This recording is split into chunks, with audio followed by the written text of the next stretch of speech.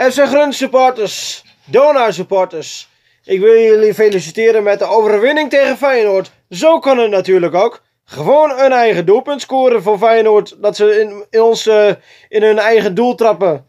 Nou, zo kan het natuurlijk ook. Nou, weer drie punten voor Grun. Hoppakee, zo doen we dat. Feyenoord in eigen doel getrapt. De slemiel was Sven van Beek, 26e minuut. En dus hebben wij 3 punten, 27 punten, negende plaats. Eindelijk van die degradatie, van die degradatiezones af. Maar er zit maar drie punten tussen, dus uh, we moeten nog uitkijken. En dan moeten wij zaterdagavond naar NAC. Kwart voor negen, NAC uit.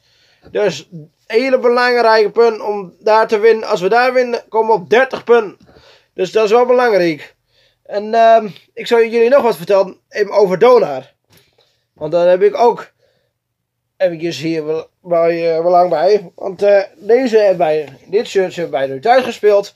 En wij gaan natuurlijk naar NAC uit. En dat doen wij natuurlijk, even kijken, in dit shirt. Hoppakee. Kijk eens even aan. Dat doen wij gewoon even zo.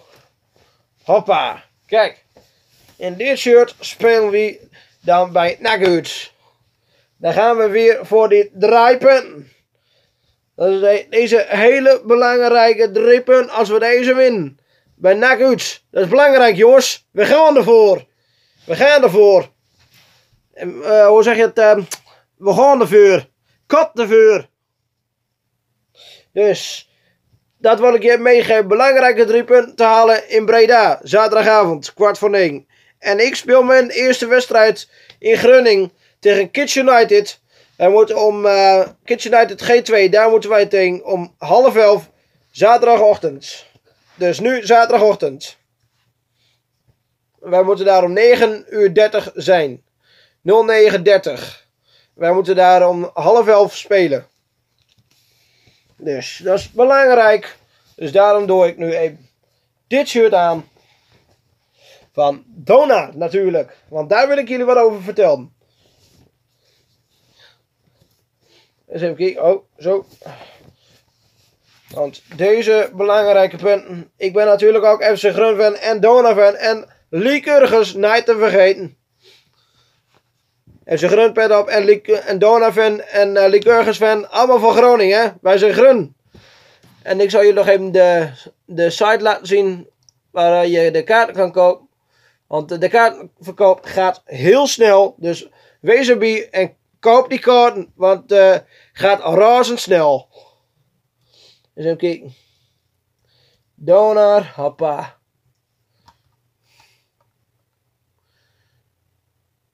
Nou. Je gaat natuurlijk eenvoudig gewoon naar de Donar site. En naar donar.nl. Je koopt die kaarten. Hartse flats. Ik zal jullie wat laten zien. Dit is die Donar Zo dat is uh, van Donar. En kijk, ik klik nu op de uh, wedstrijd van. kijk, dan ga je. Kijk, oh, dan doe je hem terug. Oh. En zo. En je ziet het is 5 maart. De wedstrijd van 5 maart waar ik heen ga.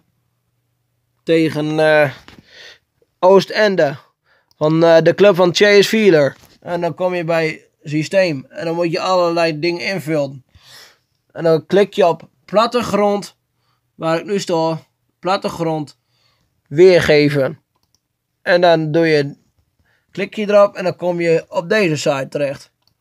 En dan klik je ergens op.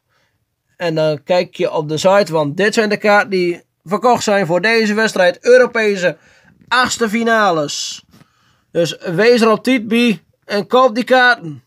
Want op is op en Dona heeft jullie kei en keihard nodig.